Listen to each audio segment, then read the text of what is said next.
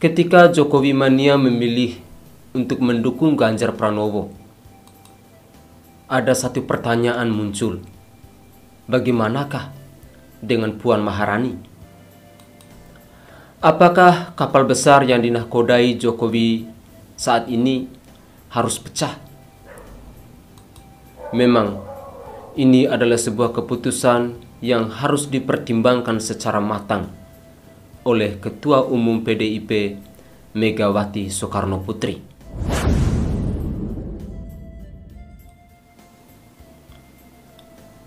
Ke manakah relawan Jokowi mania jika Jokowi tidak bisa maju untuk tiga periode?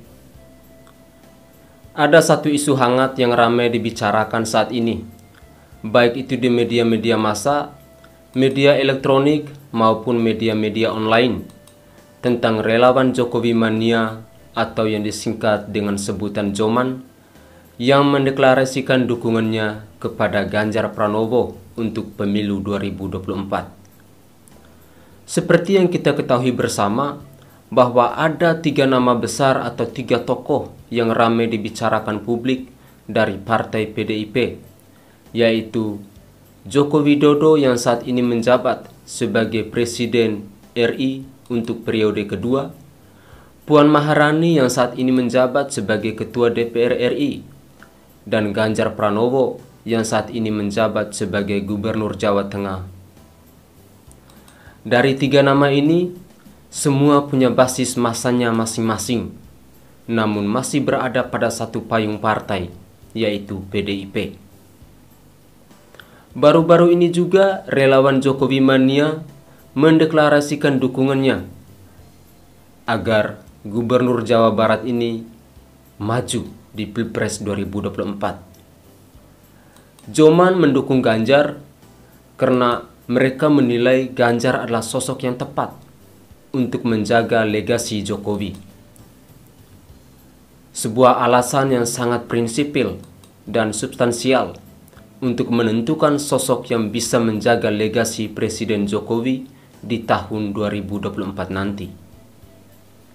Memang ada begitu banyak program-program Jokowi di periode kedua ini yang kurang maksimal dan dikhawatirkan program-program itu terkendala karena ada kepemimpinan baru yang tidak paham tentang nawacita itu sendiri. Alasan yang lain, Jokowi mania melihat bahwa Ganjar adalah sosok yang mampu untuk menerjemahkan arahan Jokowi. Juga disebut sosok yang diterima publik dan memiliki elektoral serta elektabilitas yang tinggi. Menurut Jokowi Mania, pilihan untuk mendukung Ganjar berdasarkan hati nurani dan hak secara konstitusi untuk memilih pemimpin. Karena ini berkaitan dengan pilihan-pilihan masa depan bangsa yang tidak bisa diintervensi lagi. Ketika Jokowi Mania memilih untuk mendukung Ganjar Pranowo, ada satu pertanyaan muncul. Bagaimanakah dengan Puan Maharani? Apakah kapal besar yang dinahkodai Jokowi saat ini harus pecah? Memang, ini adalah sebuah keputusan yang harus dipertimbangkan secara matang oleh Ketua Umum PDIP Megawati Soekarno Putri.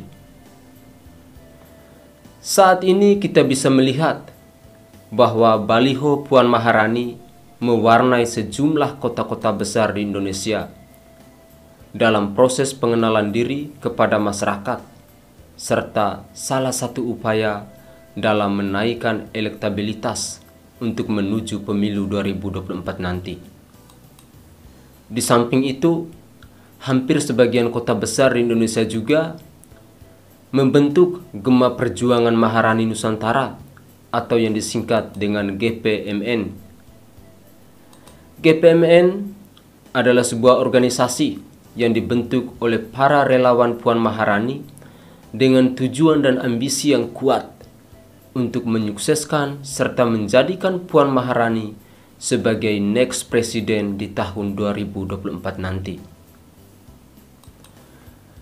Dalam beberapa hasil survei, memang persentase Ganjar Pranowo jauh lebih unggul bila dibandingkan dengan orang nomor satu di DPR RI ini.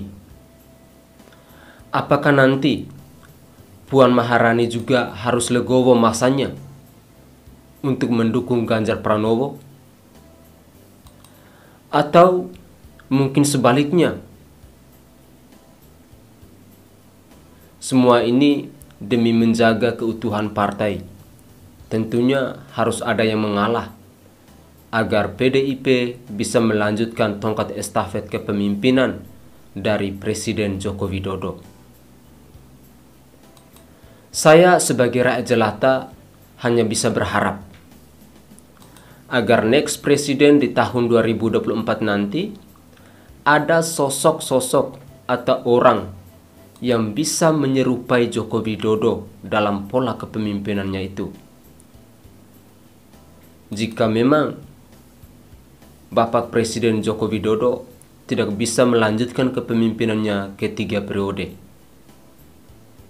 namun, kami berharap banyak semoga Bapak Presiden Joko Widodo bisa melanjutkan kepemimpinan ini sampai ke tiga periode. Salam hormat, saya Franciscus Adrianusai, saya cinta NKRI, saya cinta Pancasila, dan saya cinta Merah Putih.